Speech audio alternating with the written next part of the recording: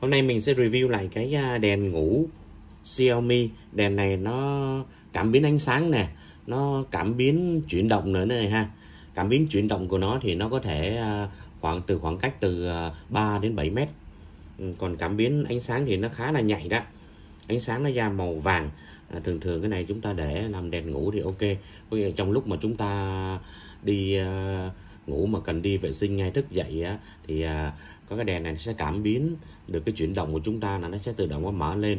Và cái cách mở của nó rất là dịu dàng mở từ nhỏ cho tới lớn. Và cách cái cách tắt tắt của nó cũng vậy nó tắt cái từ ánh sáng lớn nó chuyển dịu dần xuống ánh sáng nhỏ. À, cái đèn này tôi thấy ok. Đây cái đế của nó nó sử dụng à, uh, 3 viên pin AAA à, khi mà mua sản phẩm thì nó có tặng kèm 3 viên pin này luôn nha loại này không biết có sạc được không? Chắc nghĩ là không. Giá 170 ngàn mua tại chiếm tài. À, phía bên này nó có công tắc khi mà chúng ta gắn à, gắn à, pin vào rồi chúng ta bật cái công tắc này lên. À phía bên này á à, phía đằng sau này nó là chắc là một miếng sắt. Để miếng sắt để nó tác dụng mà hít cái 500 này à, cái này là 500 này à, nó có thể hít như vậy để giữ cố định khi mà chúng ta có thể để để di chuyển để kiểu nào cũng được hết trơn. À, đây là một thiết kế rất là thông minh. À, đây à. Ừ, bao không rớt luôn. Ừ.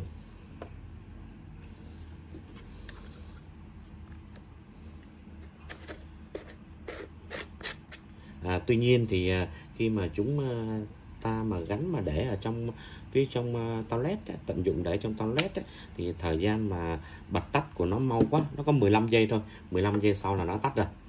À, chúng ta dùng cái này không có nút uh, cảm ứng gì nha. Thấy cái logo này thấy yêu thương rồi đó. Thấy logo này logo của Xiaomi. Bên chiếm tài thì cũng bán nhiều thứ ờ, không thuộc hạng à, của Xiaomi. Cho nên là khi mà hỏi mua thì nếu các bạn yêu thích Xiaomi thì cũng nên hỏi rõ rằng có phải đồ của Xiaomi không? À, hoặc là chúng ta tự tìm hiểu trên mạng xem đó có phải đồ của Xiaomi không. Chứ à, bình thường à, các bạn ấy cũng nói là à, đây là công ty con của Xiaomi nhưng mà thực tế mình dò ra nó không phải.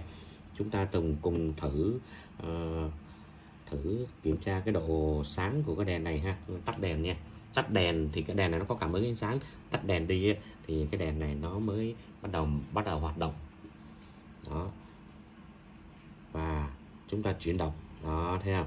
Thấy à, cái ánh sáng của nó dễ thương không? Ừ.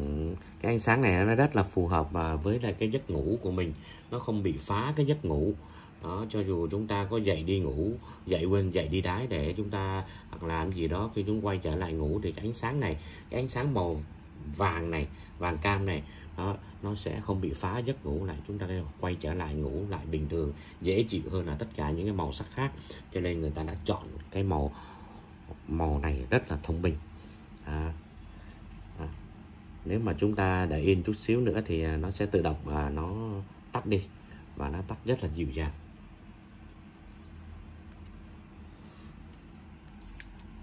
Uhm, chúng ta có thể để treo ở tủ quần áo nè để ở trên lối đi nè hoặc là để chỗ nào cần ánh sáng khi mà ban đêm chúng ta di chuyển đó chứ còn là cái này là ánh sáng đèn ngủ cho nên là nếu mà các bạn tận dụng nó để làm ánh sáng chiếu sáng thì nó là yếu. À, video clip tới đây là kết thúc. Cảm ơn các bạn đã theo dõi.